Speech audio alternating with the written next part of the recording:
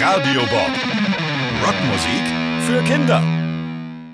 Heute stelle ich euch eine Band vor, die gibt es schon seit vielen, vielen Jahren und ihre erste Schallplatte verkaufte sich über 35 Millionen Mal. Man könnte also ihre Platten hintereinander legen und dann von Deutschland bis nach Südafrika spazieren gehen. Das sind so viele Platten, als hätte jeder Pole zu Hause so eine Platte.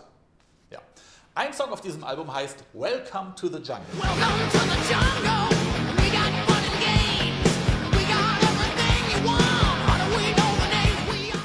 Anderen Sachen stehen bei vielen Leuten zu Hause im Schrank, vielleicht sogar bei euren Eltern. Die haben so richtig harte Musik gemacht und sich immer ganz übel benommen und das fanden die Leute gut. Und als sie dann so richtig erfolgreich waren, haben die sich alle gestritten, richtig doof waren die zueinander und dann haben die sich getrennt. Nur der Sänger, der Axel, der hat weitergemacht und der ist dann ganz dick geworden. Aber seit ein paar Jahren haben die sich wieder vertragen und gehen wieder zusammen auf Tour und geben Konzerte. Die Band nennt sich Guns and Roses.